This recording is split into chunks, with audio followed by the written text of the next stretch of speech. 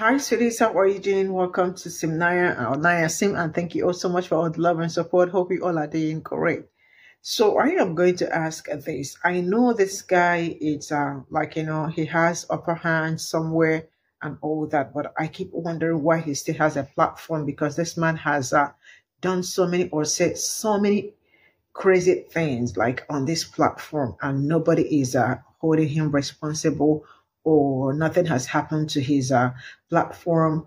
I mean, people that look like me cannot even talk about African American history or Black history without getting violation. Or probably when they are trying to call people out over what they do or did, they are getting violation. We cannot say anything educational without the platform, without our uh, post being suppressed and all that. But this man has been on this internet, going left and right, being so racist, and at the same time being ignorant and silly. Because I do not see how this full grown man is working with Donald Trump and also part of the people he has really upper hand and also he's part of the people with this project 2025 really this man shouldn't have any platform and i really do not understand who made him judge to talk about uh, women's anatomy it's really crazy let's get into this can someone track down the women Kamala Harris says are bleeding out in parking lots because Roe v. Wade was overturned? Don't hold your breath. His name is John McEntee. He's one of the architects of Project 2025. He works for the Heritage Foundation. He also was a part of Donald Trump's administration. He was the one that went from spot to spot holding Donald Trump's briefcase. And again, John McEntee is one of the architects of Project 2025. He posted that video over on his TikTok account. That's what he does. Over on his TikTok accounts, he he posts these 15 second um, videos that are along these lines and, and border on racism, misogyny, um, xenophobia, and homophobia. Well, he asked the question, and there are thousands of women down in the comment section telling him their story. But the sad part is, he doesn't care. He doesn't care about their stories. But we do. And one of my mutuals, she went through and pulled out a few stories. I'm going to share her video with you. Have you seen John McEntee's video yet? Well, holy shit, did he open the floodgates. There are thousands, tens of thousands of comments just like this. My daughter nearly lost her life as she miscarried triplets that didn't expel her body, and three hospitals wouldn't remove them. This comment section isn't what you were expecting, is it? Sending love to all these bravely sharing their story. And from Jen, yep, passed out in my front yard after bleeding for four days. An ER doc had already told me it didn't look good, but there was nothing they could do, and I should contact my OB the following Monday. Ectopic pregnancy survivor sat in the ER while my doctor called her attorney to find out if I could receive medicine or if I had to wait until I bled internally to help me. Does it have to be a parking lot? Does the location matter? Because it took me over three weeks to have a complete miscarriage because my doctor and because my hospital and several doctors refused to perform a D&C. My friend went through an emergency cesarean after carrying her terminal fetus for 10 weeks after learning of his condition. She was dying and now she can no longer have any babies. I had an ectopic pregnancy. I was bleeding out in my living room, had to have multiple blood transfusions. Irish Eye says, I had an ectopic in Texas four months ago. They refused treatment until 10 weeks because of laws. My 1.5 year old almost lost his mother for a very wanted pregnancy. Nico says, Hi, that would be me, 19 weeks, stillbirth at home, after going to three hospitals and begging my doctor for help for weeks. Now I have an autoimmune disease triggered by the blood loss. My friend had to go into septic shock before she could get help for MMC because the doctor couldn't perform an abortion. Monica says, I wasn't in a parking lot, but my husband found me unconscious in our bathroom from bleeding out from a miscarriage. Samara says, Me, I was six weeks when I was told there wasn't a heartbeat, fevers and bleeding for three months. Everyone refused to help me due to the laws, living in Texas due to my husband being in the military. Boop says, I watched my wife labor for five days and almost bled out after pushing for four hours. I was there every minute. No one should be forced to go through what she went through. I was sent home from two ERs with an ectopic and a sheet of rupture signs and told to come back when I did, and I was actively dying. I sat at home for three weeks dying of sepsis before it ruptured. And Sam says, quite literally, the other day my pregnant friend started bleeding, went to the hospital, was refused care, and was told to finish bleeding at home and come back when there was 100% no blood. If Republicans think that they are going to win in November, they are so fucking wrong. We are done dying for them. And there are thousands of other women telling their stories down in that comment section. But like I said, he does not care. He represents Republicans. He represents Donald Trump. He represents MAGA nuts. They are cruel. They don't care about the pain that women are going through with these abortion bans across the country. They do not care. And the only way to turn this around is to make sure we vote each and every one of them out of office. Uh huh.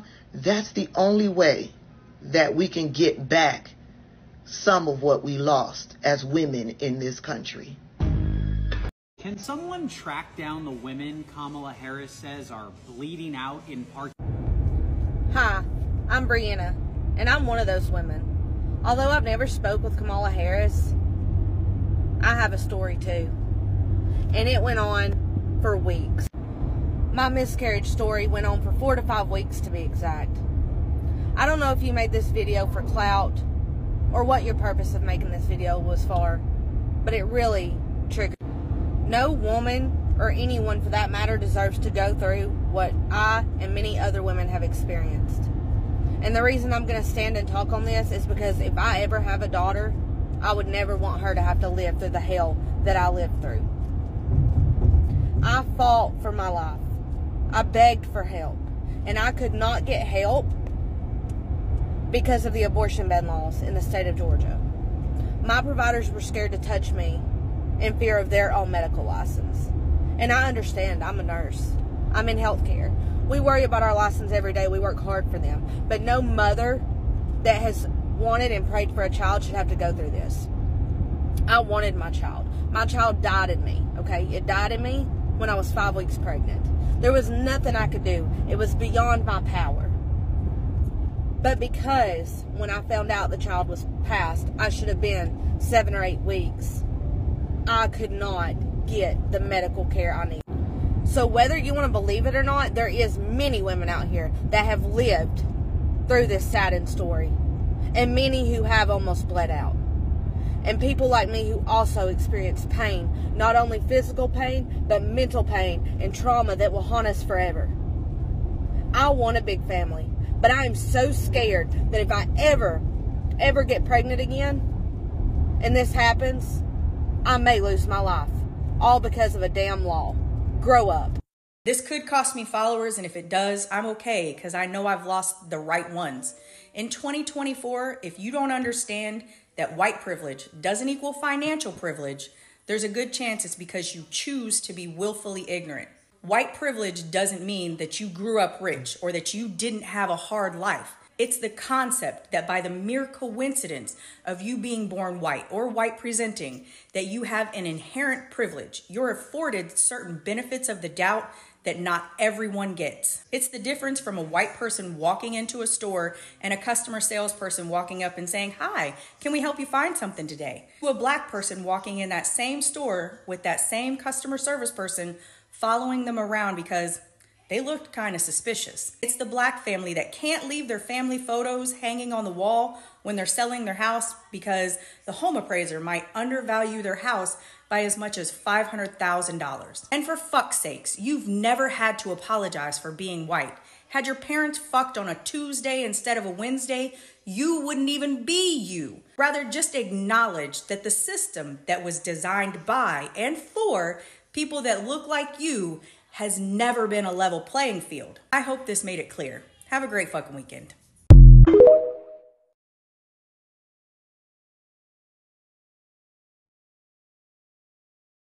So this is all I got from this video and I hope this video make a lot of sense to a lot of people because this is something we have been talking about for years and uh, to this very moment we are still being called names because we try to let them understand that they have privilege that we do not have.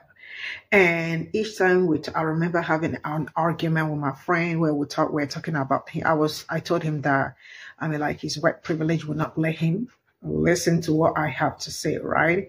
And he told me that uh, the first thing he told me was like, I have worked all my life and I never, I was not born with anything and all that. My parents were all poor. I said, I told, made him understand that when I say privilege, that I do not mean that uh, he is probably rich or something, that I meant that uh, his skin color and all that is all got him all immune and the rest of it. That there are places he is going to be let in and I won't let in. I mean, like a whole lot. It's not something that I will start like, you know, you have heard what she said. And that is absolutely truth. I mean, this is the life black people have, like, you know, we've lived from the beginning to this very moment. You also heard about, uh, um, the people that wanted to sell their house, but they couldn't hang their portrait right? Because if they know it's a black person that is selling the house or that own the house, definitely the value drops, right? So now let me get back to Mark Ante or whatever that man's name is. That man has been doing a whole lot on this God knows internet. And the fact that nobody's holding this man accountable for the things he says and does is really appalling, right?